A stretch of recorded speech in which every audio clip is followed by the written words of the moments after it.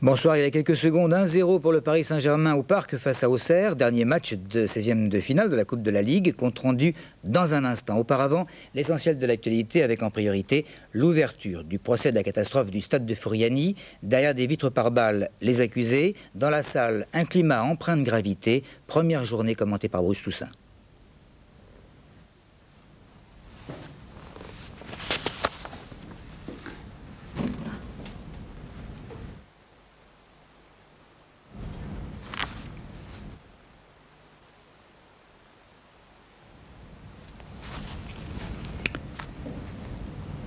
Je reviens bientôt. Il semble qu'il y a un petit problème de son. Nous verrons donc le compte-rendu de cette première journée du procès de Furiani dans un instant.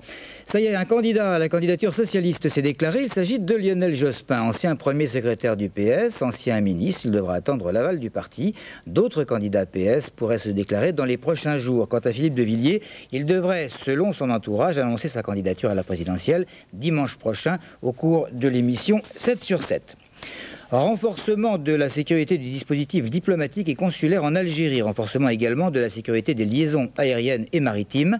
Mesures annoncées par Alain Juppé. Côté intégriste, Six pays, dont la France, ont à ce jour reçu des lettres de menaces signées du GIA, le groupe islamique armé. Des lettres reçues par des ambassades. Reste à savoir si elles sont authentiques ou non.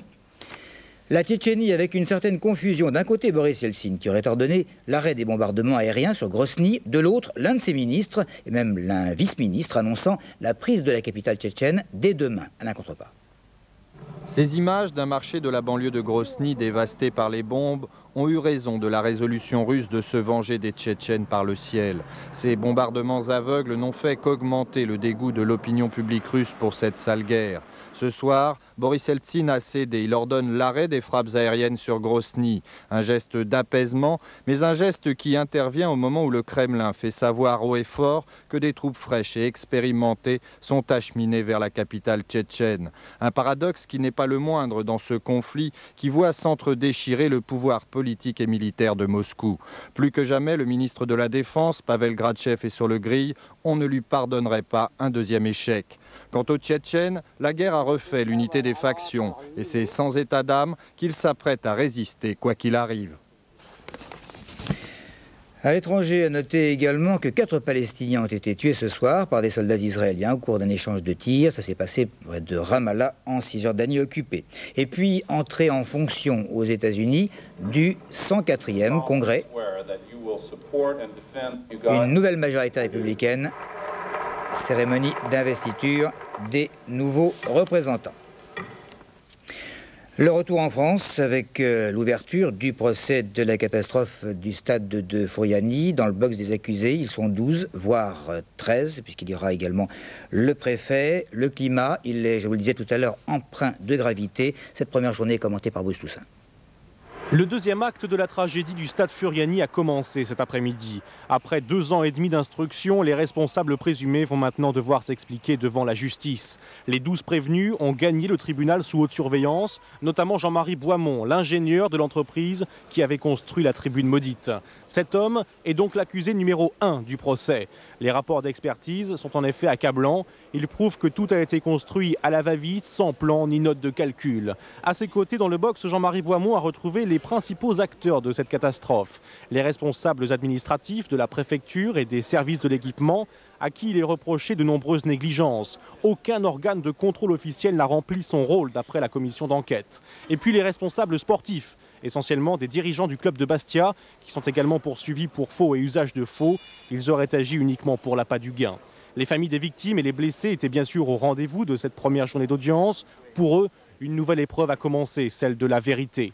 Le président du tribunal a d'ailleurs promis un procès exemplaire de dignité, de sérénité et d'impartialité. En tout cas, aujourd'hui, l'audience n'a servi qu'à mettre en marche la mécanique judiciaire. Pendant près d'une heure et demie, les greffières ont cité les noms des 2357 victimes et des 12 prévenus. 12 hommes qui resteront pendant une vingtaine de jours derrière ces vitres blindées, à l'abri des balles, mais pas des regards. verdict d'ici deux mois environ.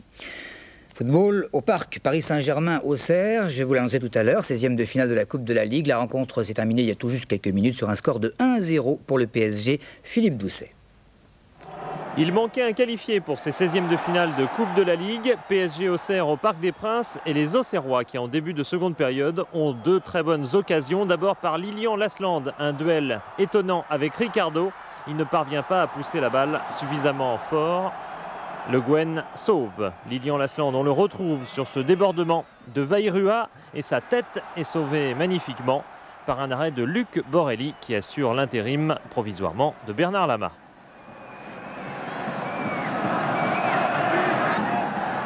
Mais le PSG domine tout de même l'ensemble du match. Un dédoublement classique entre Ginola et Colter. Ballon repoussé, la reprise de Vincent Guérin.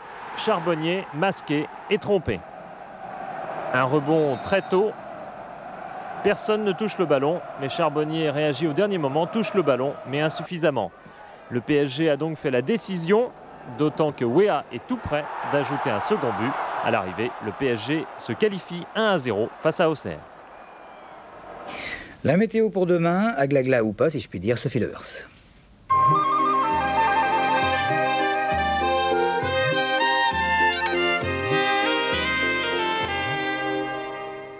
Demain matin, il pleuvra sur la Bretagne. Les nuages seront nombreux sur la basse Normandie. Partout ailleurs, il fera beau, notamment sur le quart nord-est, ainsi que sur la région Rhône-Alpes, la Provence-Côte d'Azur, le Languedoc-Roussillon et la région Midi-Pyrénées. L'après-midi, la zone pluvieuse gagnera du terrain sur la Normandie et les Pays de Loire. À l'avant, les passages nuageux seront de plus en plus nombreux. Sur le reste du pays, ce sera sans grand changement. Toutefois, le vent de sud-ouest se lèvera et soufflera jusqu'à 60 km/h sur les côtes bretonnes. Quant aux températures, elles continueront de baisser. Elles varieront de moins 5 degrés à Strasbourg à 10 degrés à Brest. Il fera moins 2 degrés à Paris et moins 4 à Bruxelles. Voilà, dans un instant, Mr. Wonderful. Excellente fin de soirée sur Canal, bien sûr.